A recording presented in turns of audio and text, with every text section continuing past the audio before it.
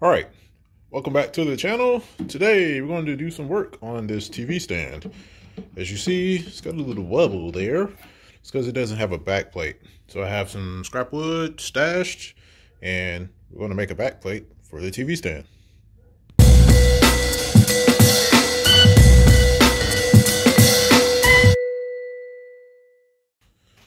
Next step is I have marked my line. As you see, it is there and it goes straight, kind of fades out a little bit. So I'm gonna have to come back and redraw it.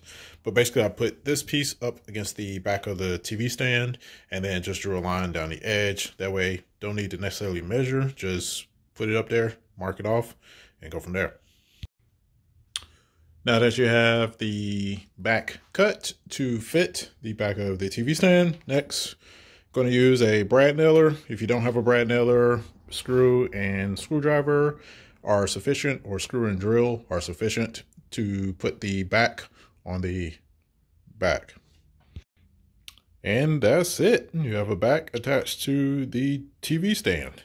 And so if we were to test out the shakeability now, as you see, it doesn't have any give to it, and that's because the back is reinforcing things.